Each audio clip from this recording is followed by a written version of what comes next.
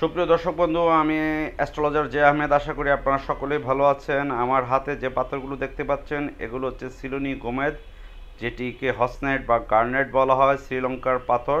রাহু গ্রহের জন্য এই পাথরগুলো ব্যবহার করা হয়। কেউ পাইকারি বা খুচরা নিতে চাইলে আমার সাথে যোগাযোগ করতে পারেন।